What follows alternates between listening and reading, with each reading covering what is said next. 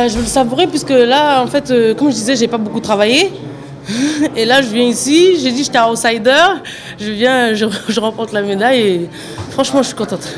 Me, me reconcentrer dans mon programme, bien programmer l'école, les entraînements et après on verra.